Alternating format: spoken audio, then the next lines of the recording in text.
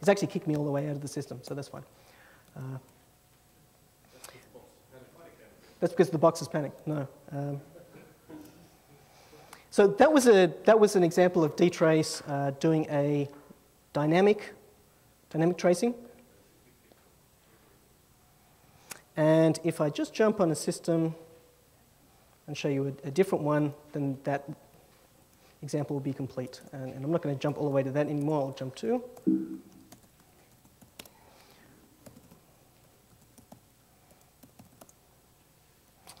Uh, you are connected.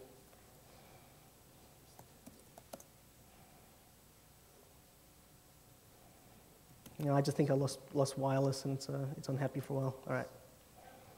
So that example was dynamic because it changed the function. The other static uh, that I can demonstrate later is uh, static tracing where uh, some places are left behind in code at very interesting places, such as uh, when I.O. starts, so that we can have, instead of dtracing the raw kernel code, we can dtrace something more user-friendly. And what happens is it leaves some NOPs behind and then dtrace can go and change that when it needs to. Um, but I think you get the picture. dtrace will go and change the live kernel code to do what it needs to do. And uh, essentials, terminology, consumer, probe, and action. I've mentioned them before. Consumer in this case was the dtrace command. Uh, that's the probe that I'm tracing and the action that I run. Um, consumers of libdtrace on Solaris include dtrace, lockstat, plockstat, and intrstat. Uh, libdtrace is a private interface, uh, not to be used directly. You don't need to. If, if you're using dtrace, for, for most things we prefer you use the library directly, um, but with dtrace it's fine to do scripting.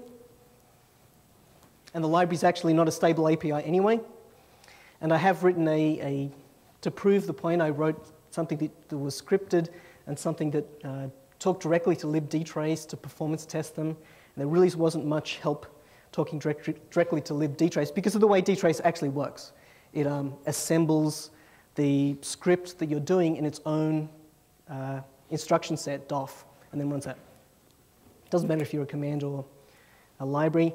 Um, if you see something like that, dtrace requires additional pri privileges, then you need additional privileges like root uh, Solaris 10 has least privilege.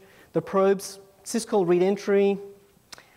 So the, the, the big thing to understand about probes is the first argument is the provider name. Think of it as a library name. Um, that says syscall. What the other fields mean depends on the first. So for syscall, the other fields will describe the system call. For proc, it's, it's all about uh, process events.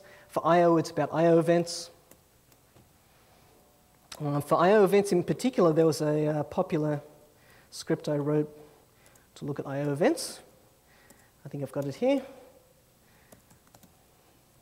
Uh, IO Uh, except, oh no, I, ne I, need to change that to run on Mac OS. Oh, wait a minute. Uh, okay. iosnoop's installed already, of course, uh, because Apple decided to install a bunch of uh, uh, which is fine, to, to put a bunch of dtrace toolkit scripts with Mac OS X in user bin. Now, I didn't put this here. This came with Mac OS X. What's that? Did they, yeah, they did say thanks. So um, they, they didn't. They, they, no, they, they, did a good job. So um, and, and they made it, and they obviously made it work because their version works and mine doesn't. So they actually fixed it. So um, so cool. So iosnoop is, um, that's pretty interesting. That's actually tracing um, disk I.O. and it's giving me information such as the process ID, the direction, the block, the size, the command, and the path name. Uh, this was a pet peeve of mine when I was a, a, a, system administrator at the University of Newcastle. I wanted to understand who was used, doing disk I.O., and that was really hard to answer. Um, and so that embarked a journey of learning all sorts of different things and culminated with dtrace, which just makes this problem very easy to solve. So Dtrace can snoop or, or, or can trace disk I/O and give you all the, all, the, all the useful information that you need to know. Why is Windows Server writing to log Windows Server.log? I mean, small writes and it's flushing them? Because this is actually disk IO, so, so mm, okay. Um, is execsnoop on there? Oh, it is, okay. The execsnoop actually I could have run earlier. Man ls. And there you go, it's telling me what was run. Does not give me arguments? Come on.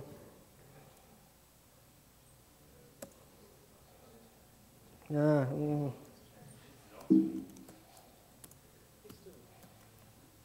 No, that, that, that needs some fixing.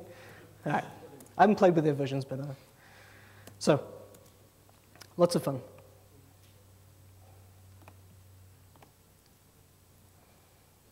So I, I just demonstrated iosnoop, um, but you can write it yourself. It's a very simple script, um, and that looks at disk I/O. You can look at syscall I/O or logical I/O at the file system level instead, if you like, uh, because dtrace lets you look at the whole stack.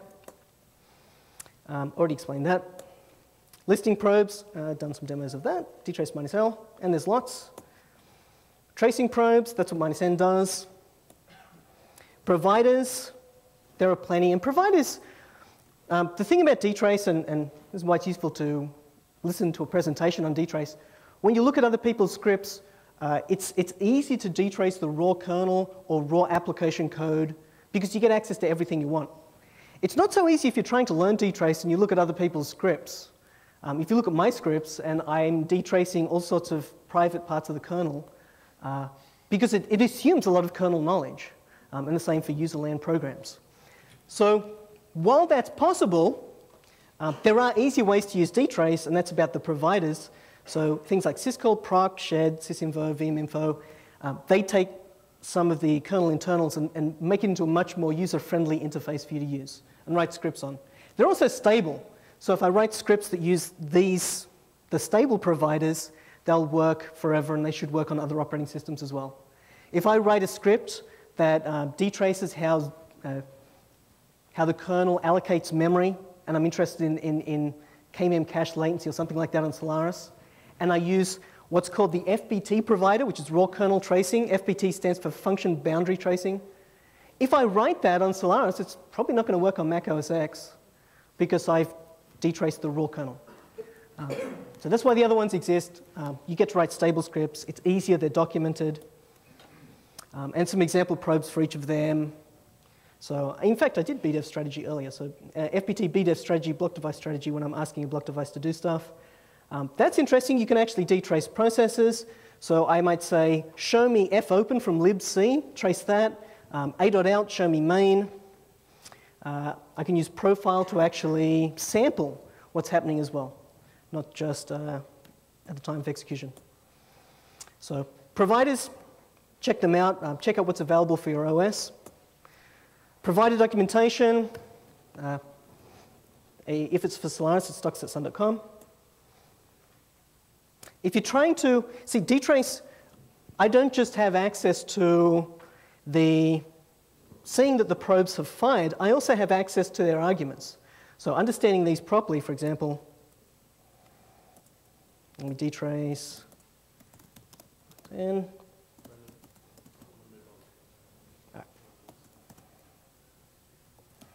So if I dtrace uh,